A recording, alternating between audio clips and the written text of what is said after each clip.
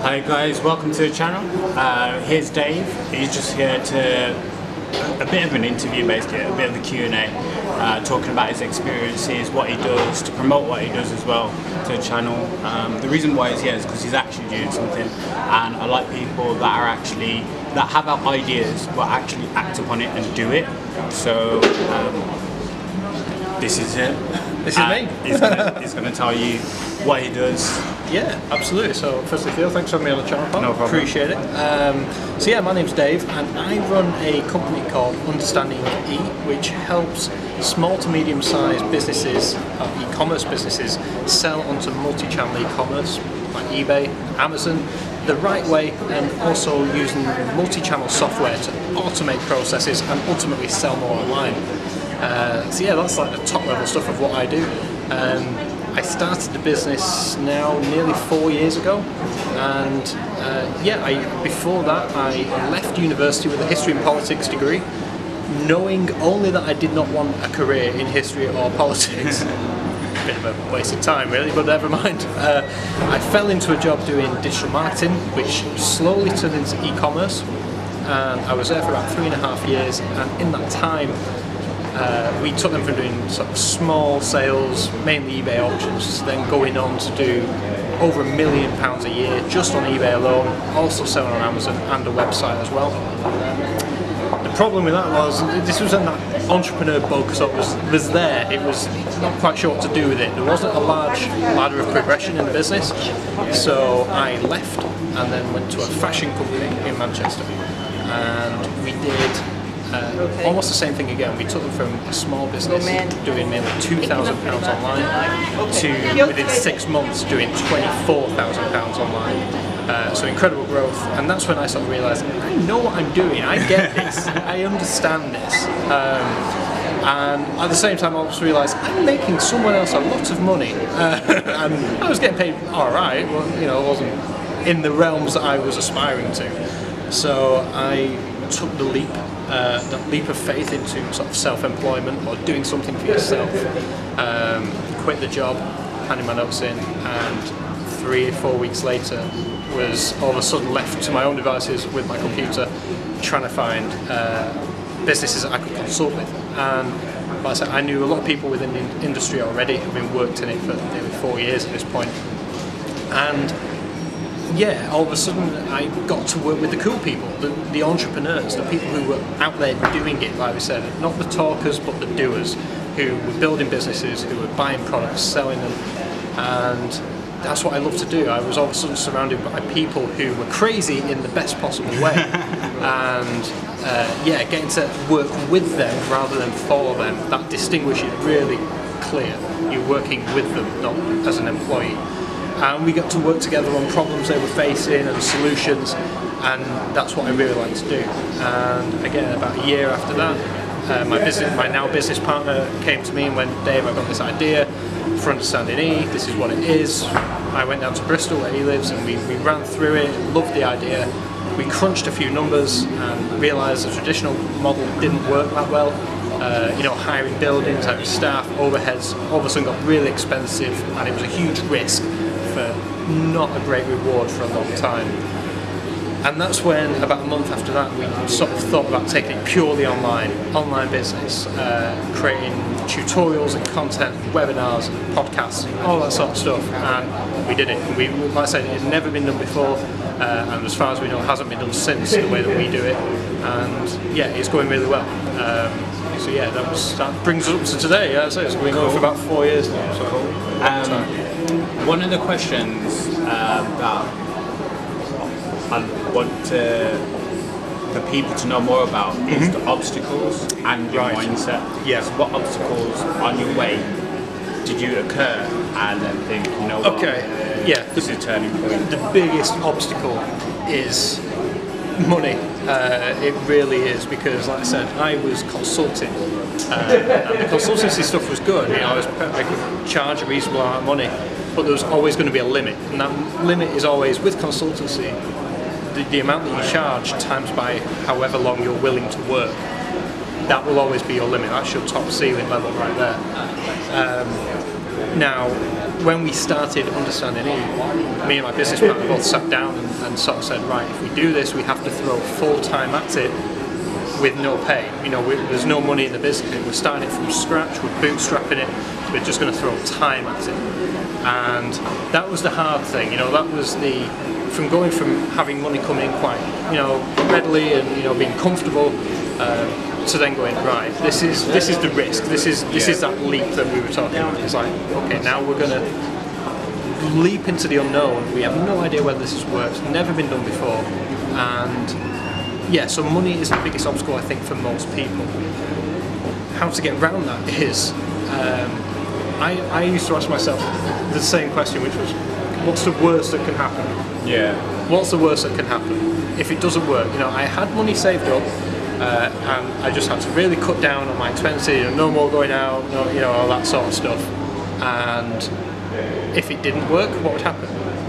I could go back to consulting. Like I said, I, I, had a lot of, I had a large network of people. I could go and say, right, guys, I'm available again. Let's talk. Or I could go and get a job. It wouldn't be the great scenario. It wouldn't be for me. But if I had to do it, I could do it and that was the worst case scenario. And often I found when you put it like that, the worst case isn't usually that bad. You know, no one's going to take you outside and shoot you. you know, it's not it's not the end of the world. Um, so yeah, the biggest obstacle was money. Um, also the mindset. I was telling to Theo before off camera. There was, you know, for the first year, year and a half, I took no money out of the business, um, and we were making money after about six or eight months. But before that, on that lead up to that six or eight month period, me and my business partner were working seven days a week, doing 16, 17 hour days, um, just grinding, just getting stuff done. I, you know, I'm not a morning person, so I'd wake up maybe nine, be sort of working by 10ish, and then, but I would still then be working at two, three o'clock in the morning, going all the way through. Um, just because you have to get things done. If I can't invest money in it, I've got to invest time. And you know, those are the two commodities you have. Uh, and like I said, that was so that was it. I had to. I knew I wanted to create something. Yeah. And like I said, the only thing I could give it was time. That was all it would take. And, and like I said, I you know I missed out on a lot of social life. I, you know I didn't go to many parties. You know a lot of weekends were spent tapping away on a computer. but these are the things that you do as an entrepreneur. You sort of you these are the sacrifices you make. And there's a, there's a saying which is the definition of an entrepreneur is um, you work like no one else will, so that one day you can live like no one else can.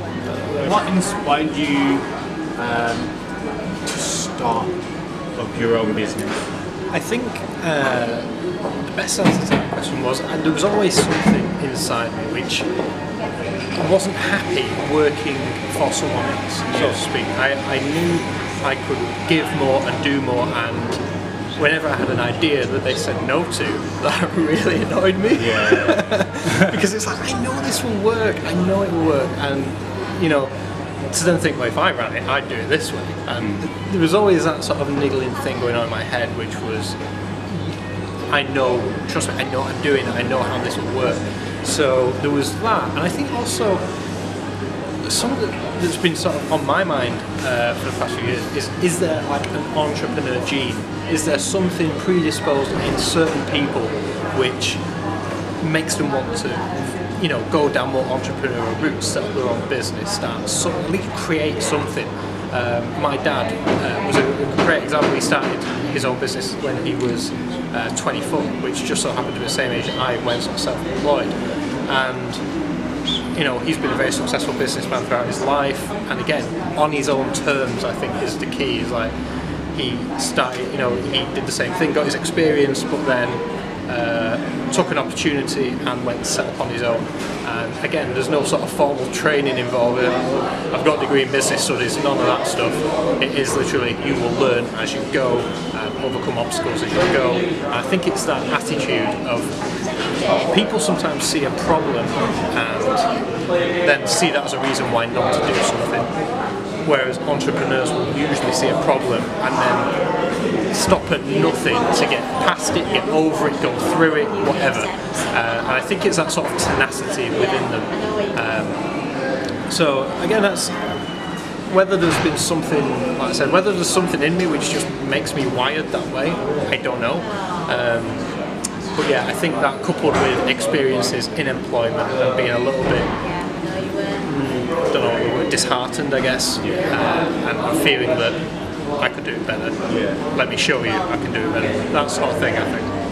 Cool, cool, cool. Um, what's your vision for the future, and then also the internet? Oh, right, okay. So the future for like my business, um, continued growth is obviously great.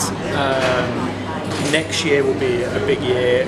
In what I do, Magento is a huge part. They've just released Magento 2 not long ago, so we'll be really busy creating new content for the website for that.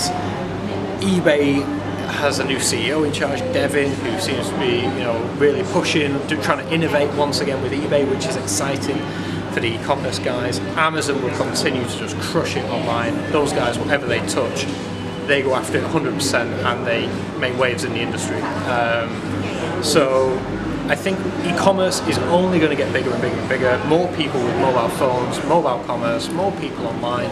Um, I don't think e-commerce is going any, away anytime soon. So I think I'm quite comfortable in the arena that I'm in um, as far as longevity goes. Uh, also, uh, I'm working on a couple of software products as well, um, which again will help sellers sell online more effectively.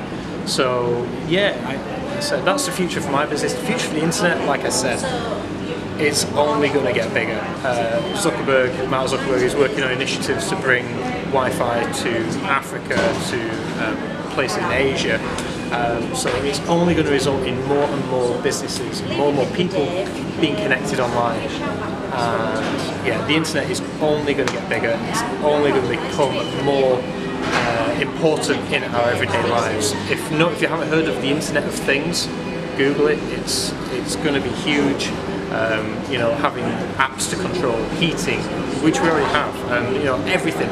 Knowing, you know, being able to track buses on your phone, see where your bus is coming. Everything, you know, within the near future will be touched by the internet. Uh, and like I said, the now has never been a better time for entrepreneurs watching this right now to spot an opportunity and to go after it. Um, what's your what do you define as success? That's a really interesting one because uh, if you'd have asked me like seven to ten years ago, I would have probably given the standard answer of you know yacht in the Caribbean, Yeah. helicopters, billions, you know, and. And my answer's changed slightly. You know, a yacht would still be nice, um, but you know, I think I think success is uh, largely happiness. Um, are you happy doing what you are doing? Uh, because I know a lot of rich people who aren't happy. So, you know, success to them, they can have all the money in the world, but if they're not happy, it doesn't mean anything. So I would say do what you love, do it with passion, and success will come from that. Uh, and also money will come from that as well. Money is like a byproduct of doing what you love following it with passion. Um, and I, I would also say time.